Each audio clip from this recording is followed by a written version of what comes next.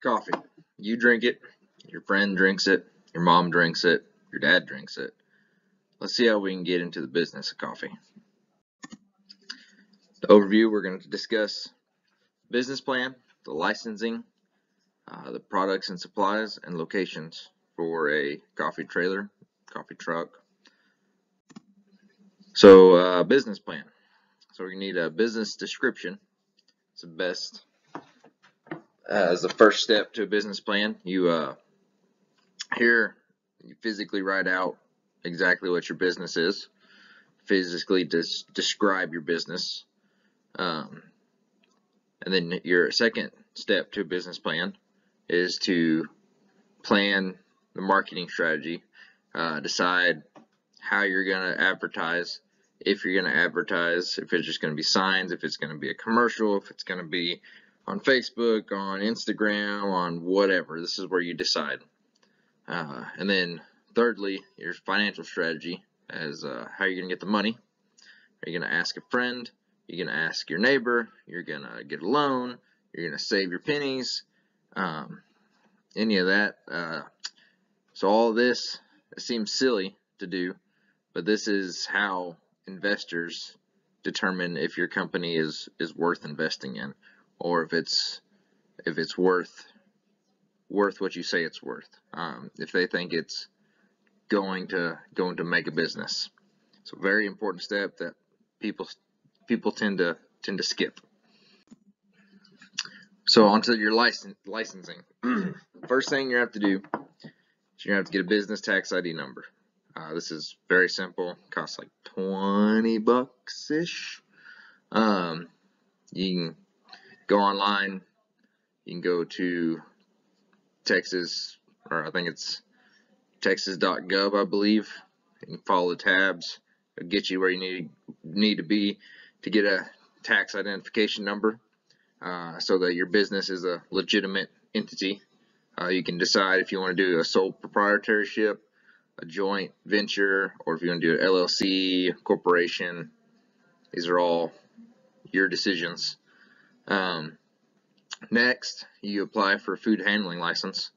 Uh, this is through uh, Texas Food Health Commission. Uh, it, they require you to have a tax ID number. That's why I said that's your first step. Uh, you go through them. You can decide then with your food trailer, uh, your coffee trailer, if you want it to be, uh, if you want to fall under the cottage law, if you want to be a a mobile food unit or a commercial kitchen.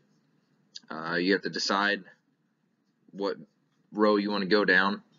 Uh, and then based on what you pick, um, then that determines the requirements you need. Uh, cottage, if you go under the cottage law, cottage industry, uh, it's very lenient. Not a lot of not a lot of criteria you have to meet. If you go all the way to the commercial kitchen side of things, I mean, there's all kinds of requirements and specifications and this has to be made of this material and it's it's a lot more hoops to jump through but you'll be able to serve everything you want to serve no matter no questions asked. Whereas cottage you can only serve uh, non-temperature controlled foods. Then when you get through all that paperwork you will get a call from your your inspector and you'll set up an inspection date They'll come inspect it, give you a thumbs up or thumbs down, and then you can move on or fix anything that they uh, that they want you to fix.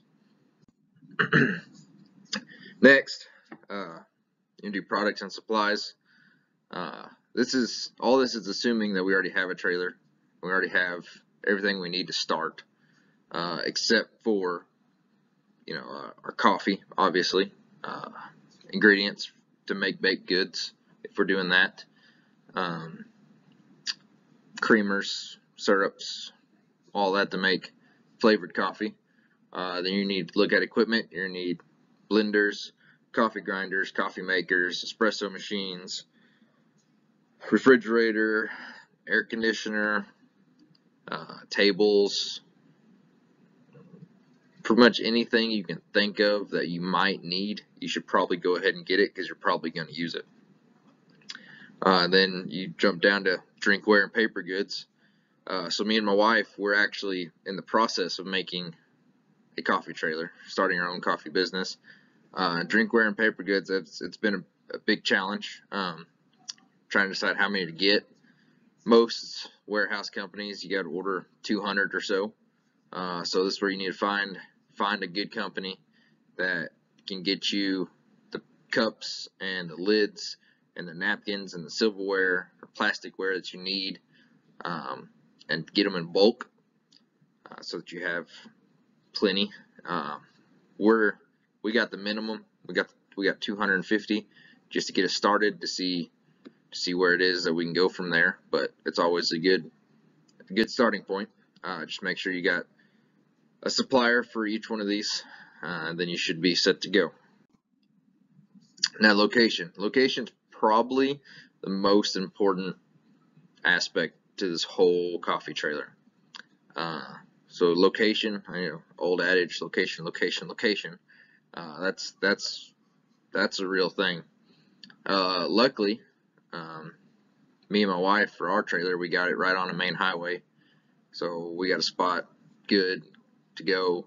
Uh, but the issue that we have is signage. Uh, so this is where little you might put little signs, a little attention getters, um, because if somebody just sees a truck parked there, they're not going to know what it is. They need they need something to grab their attention to make them turn off the road and come to your station.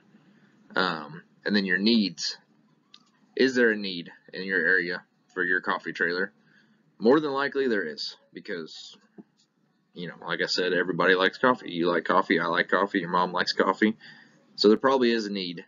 Uh, and then obviously the traffic, you know, we're lucky. We live out in the middle of nowhere. Not a lot of traffic.